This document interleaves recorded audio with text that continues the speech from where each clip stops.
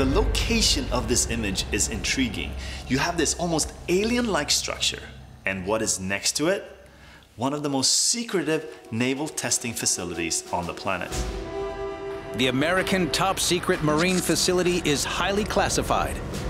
Its presence in the area is also the subject of controversy. Kourounis meets up with Bahamian journalist Jerome Sawyer. He's been collecting reports from locals who are fearful of what's going on here.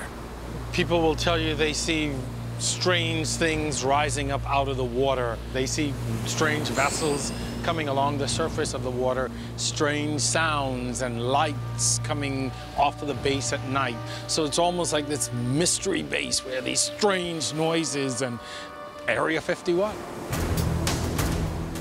Kourounis discovers the base is controlled by the U.S. Navy, and its official title is the Atlantic Undersea Testing and Evaluation Center, or AUTEC.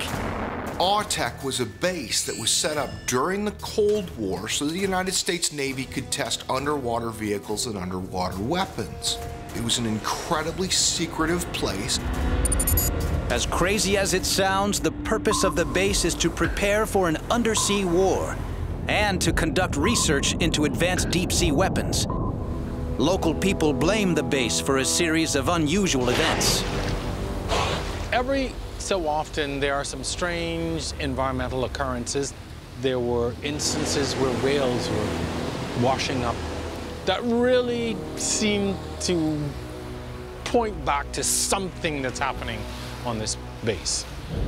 We know that the Navy has tested weapons and torpedoes and all kinds of different devices in this underwater zone in AUTEC.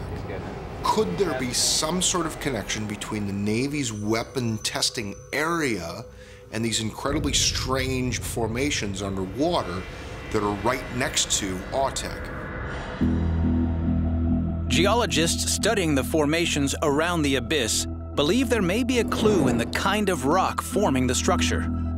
They're really a little bit like melted ice cream, so the rocks that form them are limestones. Geologists know limestone can be worn away by chemicals.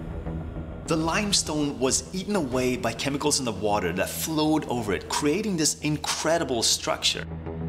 But these structures are so huge, scientists conclude the chemical erosion must be natural.